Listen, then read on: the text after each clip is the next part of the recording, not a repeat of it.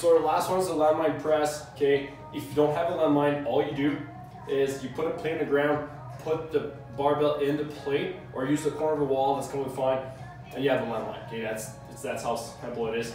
What we're trying to do here is we're trying to fix the shoulder to actually be able to press overhead, okay? So you don't have to have any weight for this one. The bar is plenty enough. You want to add weight, five, 10 pounds if it's kilos out there. Uh, 2.5 to 5 kilos works out great, okay? Uh, and work your way up. We're not really looking at the actual press. We're trying to extend out through and create that mobility and stability into your serratus, which is the muscle under right here. Okay, they look like fingers. People think they're ribs, but they're not. Those are called the serratus. Uh, they are crucial when it comes to creating stability in that shoulder blade and shoulder. So that's what we're gonna focus on. The way you're gonna do this, okay? You're gonna actually stagger your feet. So you're going kind of like a split squat stance. The foot that you're pressing on is the one that is in the back. Okay? It's gonna anchor your entire body.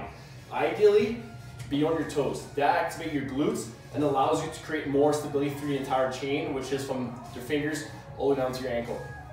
So what I'm gonna do, so with a straight line, my elbow, I'm gonna press straight up, as I can. Now I'm gonna overhead press, okay? I'm in an incline press, which is completely fine. From this point, so I'm gonna focus on that shoulder stability. I'm gonna drive my head through and try to create a straight line from that wrist all the way to my ankle, okay?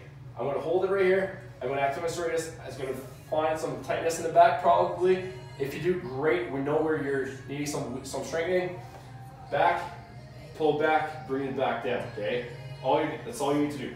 Press, extend through, make that straight line, create that stability in your shoulder blade, back, lats, and thrust fitness. Come back down, lower down the bar. And repeat, press up, extend through, make a straight line, back, and down.